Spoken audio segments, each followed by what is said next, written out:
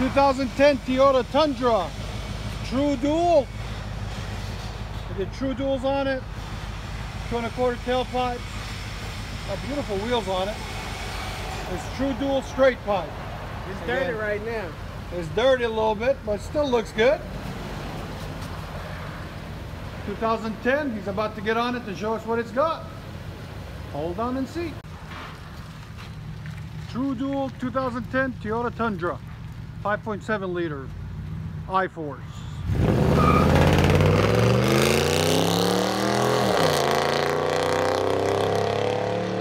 That's how it should sound.